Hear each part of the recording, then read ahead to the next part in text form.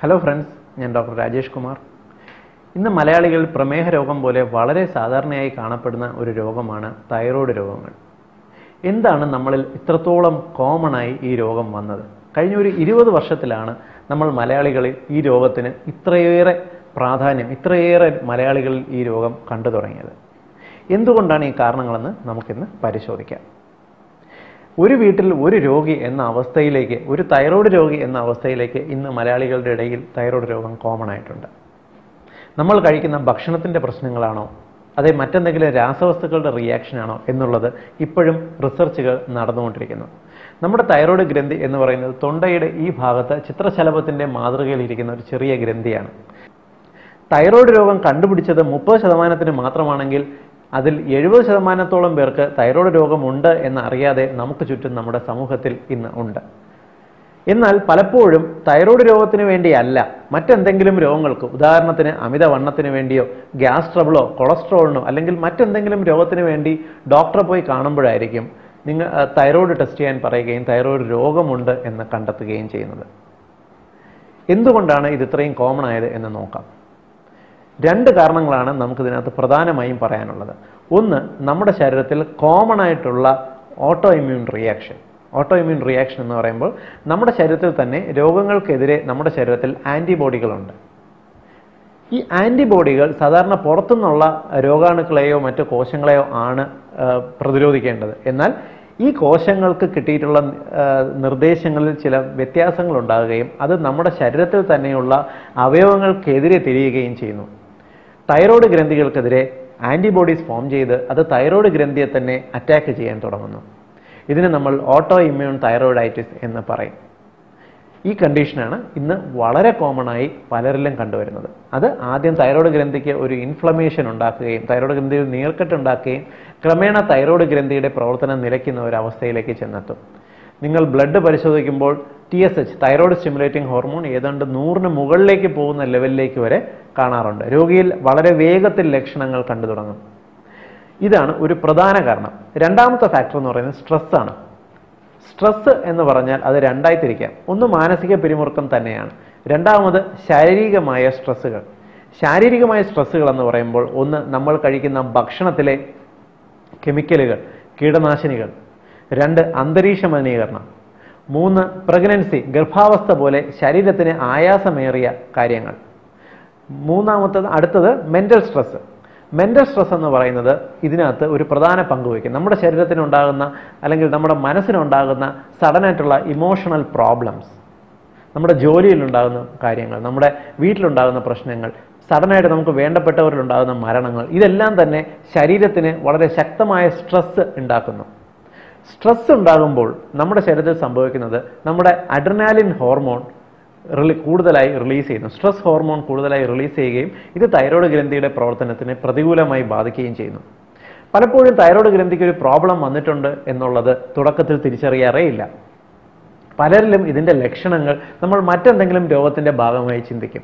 ഉദാഹരണം പറഞ്ഞാൽ വിട്ടുമാറാത്ത മുടി പൊഴിച്ചിൽ അമിതമായി വണ്ണം വയ്ക്കുക ശരീരത്തിന് വരുന്ന ചൊറിച്ചിൽ സ്കിന്ന് ഡ്രൈ ആയി തീരുക കൊളസ്ട്രോൾ ലെവൽ പെട്ടെന്ന് കൂടുക പീരീഡ്സിൽ വരുന്ന സ്ത്രീകളാണെങ്കിൽ പീരീഡ്സിൽ വരുന്ന ഇറഗുലാരിറ്റി. ഇതെല്ലാം തന്നെ തൈറോയ്ഡ് ഹോർമോണിന്റെ വ്യത്യാസം കൊണ്ട് സംഭവിക്കാം. തൈറോയ്ഡ് ഹോർമോണിന്റെ വ്യത്യാസം ഉണ്ടെങ്കിൽ അത് ശരീരത്തിലെ കാൽഷ്യം മെറ്റബോളിസത്തിനെ പ്രതികൂലമായി ബാധിക്കും. എല്ലുകളിൽ നിന്നും കാൽഷ്യം കൂടുതൽ രക്തത്തിലേക്ക് തിരിച്ച് ഇറങ്ങാൻ തുടങ്ങും. അത് എല്ലുകളുടെ ബലം നശിപ്പിക്കുകയും ഓസ്റ്റിയോപൊറോസിസ് എല്ല് തേയ്മാനം പോലുള്ള അവസ്ഥകളിലേക്ക് ചെന്നെത്തുകയും ചെയ്യുന്നു. തൈറോയ്ഡ് ഗ്രന്ഥിയുടെ പ്രവർത്തനം കറക്റ്റായി പോയില്ല എന്നുണ്ടെങ്കിൽ അത് ഹൃദയത്തിന്റെ പ്രവർത്തനത്തിനെ മന്ദീഭവിപ്പിക്കും. ശരീരത്തിലുള്ള ഓരോ കോശങ്ങളുടെയും ആക്ടിവിറ്റി ഇത് പ്രതികൂലമായി ബാധിക്കും. തൈറോയ്ഡ് ഗ്രന്ഥി പ്രോപ്പറായി പ്രവർത്തിക്കാത്തവർക്ക് അതായത് ഹൈപ്പോ തൈറോയിഡിസം അതായത് ഇന്നിപ്പോൾ കേരളത്തിൽ ഏറ്റവും കൂടുതൽ കാണുന്നത് ഹൈപ്പോ തൈറോയിഡ് പേഷ്യൻസ് ആണ്. അതായത് ഉയർന്ന ടി എസ് എച്ച് അളവ് ഉള്ളവർ. ഇവരിൽ ശരീരത്തിന്റെ ടെമ്പറേച്ചർ ഒന്ന് മുതൽ ഒന്നര ഡിഗ്രി വരെ കുറയുന്നു. എപ്പോഴും ശരീരത്തിന്റെ ഒരു കുളിര് ഫീലിംഗ് ഉണ്ടാവും. പെട്ടെന്ന് തന്നെ തണുപ്പ് ഫീലിംഗ് ഉണ്ടാവും. തലയ്ക്ക് ഒരു പെരുപ്പുണ്ടാവാം. ഒരു മന്ദീഭവം ഉണ്ടാവാം. ഉറക്കം തൂങ്ങൽ ഉണ്ടാവാം. ഒന്നും ചെയ്യാനുള്ള ഉന്മേഷം ഉണ്ടാകുകയില്ല. ശരീരത്തിലുള്ള എല്ലാ ഹോർമോണുകളുടെയും പ്രവർത്തനം ക്രമേണ കുറഞ്ഞു വരും. ഇത് കാരണം ശരീരത്തിന് ചെറിയ നീർക്കെട്ട് അനുഭവപ്പെടും. കയ്യിലും കാലുകളിലും നീര് വരിക മുഖത്തിനൊരു പഫിനെസ് വരിക കണ്ണിന്റെ മുകളിലും താഴെ ഭാഗത്തും ചെറിയ നീർക്കോൾ വരിക കഴുത്തിന് ചെറിയ വീക്കം അനുഭവപ്പെടുക ചിലവരിൽ ഞാൻ ഈ പറഞ്ഞ ലക്ഷണങ്ങൾ ഒന്നും തന്നെ കാണുകയില്ല. ഭക്ഷണം കഴിക്കുമ്പോൾ തൊണ്ടയിൽ ഇറക്കാൻ ബുദ്ധിമുട്ട് തൊണ്ടയിൽ എന്തോ ഇരിക്കുന്ന പോലെ തോന്നൽ ചെറിയ ചുമ ഇങ്ങനെയുള്ള ലക്ഷണങ്ങൾ കാണും.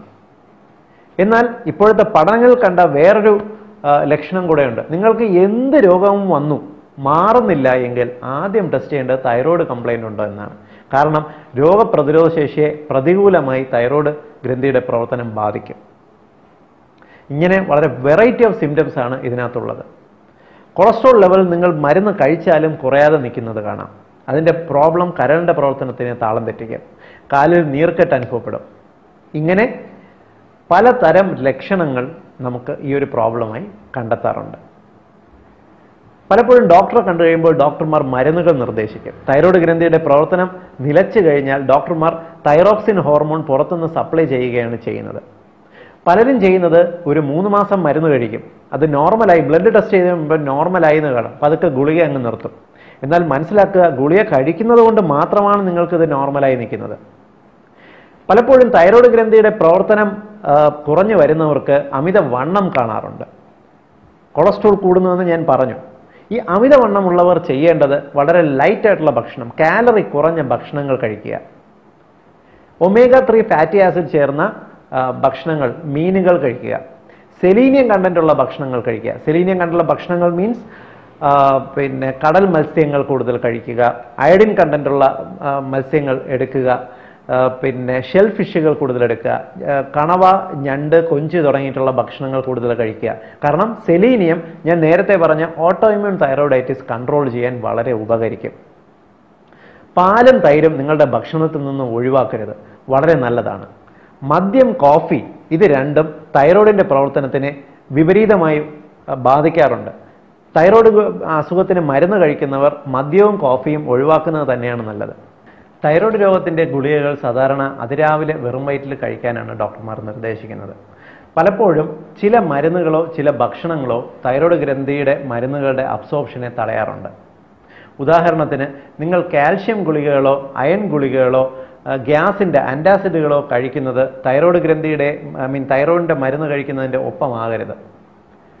തൈറോയിഡിന്റെ മരുന്ന് കഴിക്കുന്നതിൽ ഒരു മൂന്ന് മുതൽ നാല് മണിക്കൂർ ഗ്യാപ്പിന് ശേഷം മാത്രമേ ഞാൻ ഈ പറഞ്ഞ മരുന്നുകൾ കഴിക്കാൻ പാടുള്ളൂ. പണ്ട് മുതൽ നമ്മൾ കേട്ടു വരുന്നതാണ് തൈറോയ്ഡ് ഗ്രന്ഥിയുടെ പ്രോബ്ലം ഉള്ളവർ ഗുളിക കഴിക്കുന്നവർ കോളിഫ്ലവർ കഴിക്കാൻ പാടില്ല ക്യാബേജ് കഴിക്കാൻ പാടില്ല കടുക് താളിച്ച് കഴിക്കാൻ പാടില്ല എന്നൊക്കെ. എന്നാൽ പഠനങ്ങൾ തെളിയിച്ചിട്ടുള്ളത് ഇങ്ങനെയുള്ള ഭക്ഷണങ്ങൾ ഒഴിവാക്കുന്നതിനെക്കാട്ടി നിങ്ങൾ കൃത്യമായി ഗുളികകൾ കഴിക്കുമെങ്കിൽ തൈറോയ്ഡ് ഗ്രന്ഥിയുടെ പ്രവർത്തനം കൃത്യമായി പോകും എന്നാണ്. ഞാൻ നേരത്തെ പറഞ്ഞ മറ്റൊരു കാര്യമുണ്ട്. ശരീരത്തിലുള്ള എല്ലാ പ്രവർത്തനങ്ങളെയും തൈറോയിഡിന്റെ ഫംഗ്ഷൻ കുറവ് മന്ദിവിപ്പിക്കും നമുക്ക് എനർജി ഉണ്ടാകുകയില്ല. ഇത് ഓവർകം ചെയ്യാൻ നമ്മൾ ചെയ്യേണ്ടത് കൃത്യമായ വ്യായാമം ആവശ്യമാണ്. ശരീരത്തിന് വ്യായാമം നൽകുക എന്ന് പറഞ്ഞാൽ നമ്മൾ ചെയ്യുക ഒരു എന്താ സ്റ്റാർട്ടാകാത്ത ഒരു വാഹനത്തിന് നമ്മൾ തള്ളി സ്റ്റാർട്ടാക്കാൻ ശ്രമിക്കുന്നത് പോലെയാണ്. തൈറോയ്ഡ് ഗ്രന്ഥിയെ സ്വയം പ്രവർത്തിച്ചു തുടങ്ങാൻ നമ്മൾ സ്റ്റിമുലേറ്റ് ചെയ്യുന്ന ഏറ്റവും പ്രധാന കാര്യമാണ് വ്യായാമം. വ്യായാമം ചെയ്യുന്നവർക്ക് വണ്ണവും വയ്ക്കുകയില്ല ശരീരത്തിൽ നീർക്കെട്ട് വരികയുമില്ല. നീർക്കെട്ടിന്റെ ടെൻഡൻസി ഉള്ളവർ ഉപ്പിന്റെ അംശം ക്രമേണ കുറയ്ക്കണം. ഉറക്കക്കുറവ് ചിലരിൽ കാണാറുണ്ട്. ഇതുപോലെ തന്നെ മറ്റൊരു പ്രധാന പ്രോബ്ലമാണ് ഹൈപ്പർ തൈറോയിഡിസം തൈറോയ്ഡ് ഗ്രന്ഥി ഓവറായിട്ട് വർക്ക് ചെയ്യുന്നത്. ഈ ഒരു സിറ്റുവേഷന് നമ്മൾ ശ്രദ്ധിക്കേണ്ടതാണ്. ചിലരിൽ ഈ ഒരു ലക്ഷണങ്ങളൊന്നും അല്ലാതെ തന്നെ തൈറോയ്ഡ് ഗ്രന്ഥിയിൽ മുഴ കാണാറുണ്ട്. അങ്ങനെയുള്ള സിറ്റുവേഷനിൽ നിങ്ങൾ ഒരു ഡോക്ടറെ കണ്ട് തൈറോയിഡിന്റെ സ്കാൻ നോക്കണം. തൈറോയിഡിന്റെ സ്കാൻ നോക്കി അതിൽ മുഴകളുണ്ടെങ്കിൽ അതിൽ സൂചി വെച്ച് കുത്തി നോക്കുന്ന F N A C fine needle aspiration cytology എന്ന ടെസ്റ്റ് അവൈലബിൾ ആണ്. എന്ത് തരം കോശങ്ങളാണ് തൈറോയ്ഡ് ഗ്രന്ഥിയിൽ വളരുന്നത് എന്ന് മനസ്സിലാക്കണം. കാരണം കേരളത്തിൽ തൈറോയിഡിന് ക്യാൻസർ രോഗബാധ അത്ര കുറവല്ല. ചിട്ടയായ ജീവിതവും ക്രമമായ മരുന്ന് കഴിക്കലും കൊണ്ട് നമുക്ക് തൈറോയ്ഡ് ഗ്രന്ഥിയുടെ പ്രവർത്തനം മിതമാക്കി കൊണ്ടുപോകാൻ സാധിക്കും. പക്ഷേ സൂക്ഷിക്കുക കൃത്യമായ ചികിത്സ തൈറോയ്ഡ് ഗ്രന്ഥിക്ക് ചെയ്തില്ല എന്നുണ്ടെങ്കിൽ അത് ഹൃദയത്തെ ബാധിക്കും പ്രമേഹ രോഗം വൃക്കരോഗം ഹൈപ്പർ ടെൻഷൻ തുടങ്ങിയിട്ടുള്ള രോഗങ്ങളിലേക്ക് നയിക്കും എന്നുള്ള കാര്യത്തിൽ സംശയം വേണ്ട. എല്ലാവർക്കും ഈ ഇൻഫർമേഷൻ മനസ്സിലായി എന്ന് വിശ്വസിക്കുന്നു. മറ്റൊരവസരത്തിൽ വേറൊരു വിഷയവുമായി ഇനിയും കാണാം. ബൈ